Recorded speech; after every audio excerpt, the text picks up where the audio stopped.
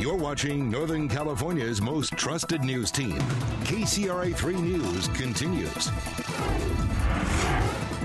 We have a breaking news first alert right now. A car has gone into a ditch uh, near Marysville, case, uh, Mary, Marysville Boulevard, correct? Is that right?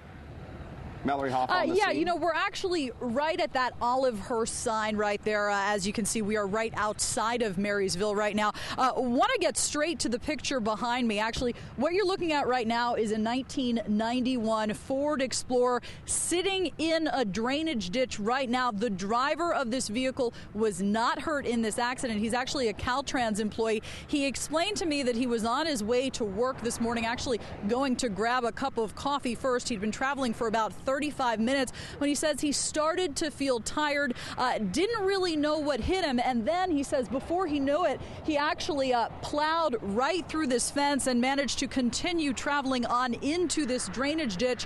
He says he believes he was not traveling over 65 miles per hour at the time. Uh, CHP officers here at the scene say they are positive he was not drinking at the time of this accident. This was simply a, a case of someone who was very tired behind the wheel. Uh, but this morning, he says he feels very fortunate he was able to get out of this car. Uh, as you can see here, uh, a tow truck has just arrived here at the scene uh, to try to pull this vehicle out of the ditch. CHP officers are not sure whether or not it will take one tow truck or multiple this morning. Uh, the car is sitting in about four or five inches of water here, and the challenge will be the position that it's currently situated at. so the driver here standing by the scene, another Caltrans employee here to help him. Uh, he has not reported any injuries at all, but this morning the biggest challenge, of course, will be pulling this car out of the ditch. Traffic is not impacted at this time. For now, live right outside of Marysville, Mallory Hoff, KCRA 3.